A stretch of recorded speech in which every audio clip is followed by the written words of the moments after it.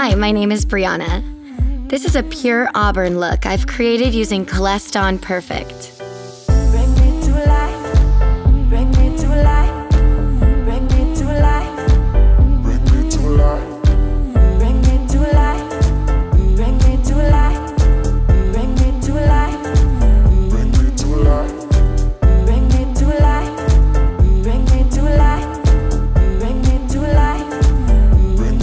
Chosen to layer together three colors to create the multi-dimensional effect, plus a glossing, which you will see later on.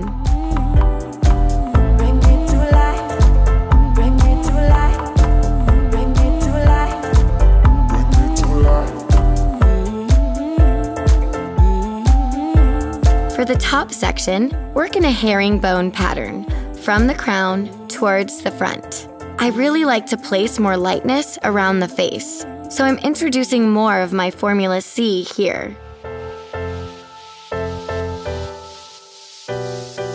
Bring me to life. Bring me to life. Finally, I apply a glossing all over the hair for rich color and perfect shine.